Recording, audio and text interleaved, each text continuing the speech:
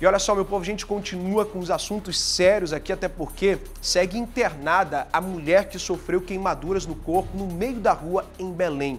A polícia suspeita de uma tentativa de suicídio. Quem conta é a Rafaela Collins na tela.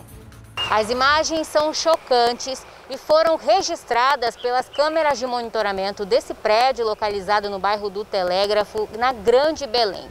O vídeo que vazou e repercutiu nas redes sociais mostra Rosemary Abreu, de 45 anos, correndo pela rua com o corpo todo em chamas.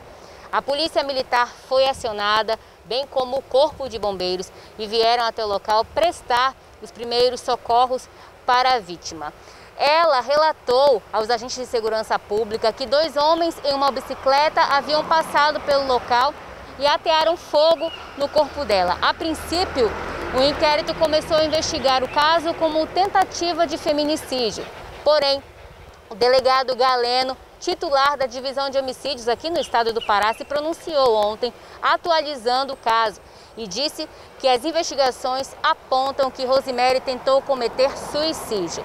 A mãe dessa mulher foi ouvida e ela relatou que a filha sofre de esquizofrenia há pelo menos 10 anos.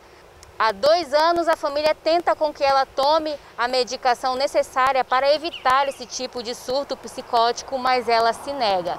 Rosemary segue internada em estado grave, com queimaduras de terceiro grau por todo o corpo.